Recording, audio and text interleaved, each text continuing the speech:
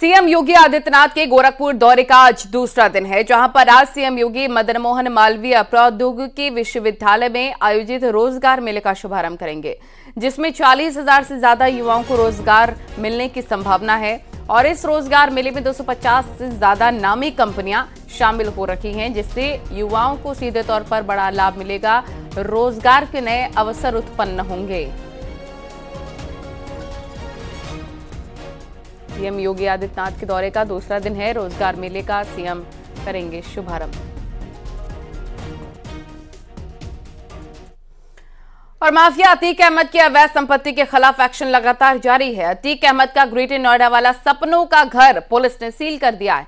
अतीक अहमद के इस घर का नाम मन्नत है। इस घर की कीमत पाँच करोड़ रुपए से अधिक बताई जा रही है। अब जाँच की गई है तो बड़ी जानकारी हाथ लगी है। दरअसल बॉलीवुड अभिनेता शाहरुख खान के मुंबई वाले घर की तर्ज पर ही मन्नत नाम रखा था अतीक ने।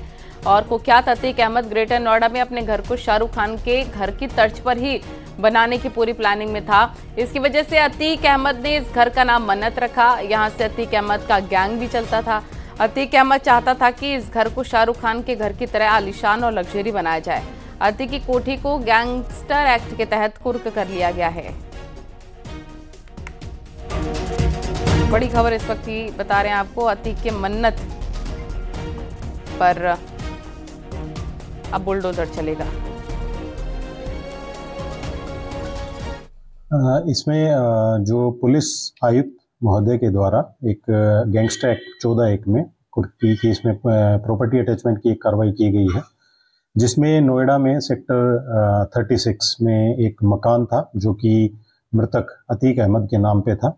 उसको गैंगस्टर एक्ट के तहत अटैच किया गया है और इस मकान की जो कीमत है, वो मार्केट वैल्यू लगभग तीन करोड़ सत्तर लाख रुपए थी। तो ये जो कार्रवाई हुई है, वो ये गैंगस्टर एक्ट चौदह एक के तहत की गई है। अन्य जो संपत्तियाँ हैं, उनके बारे में भी जानकारी की जा रही है।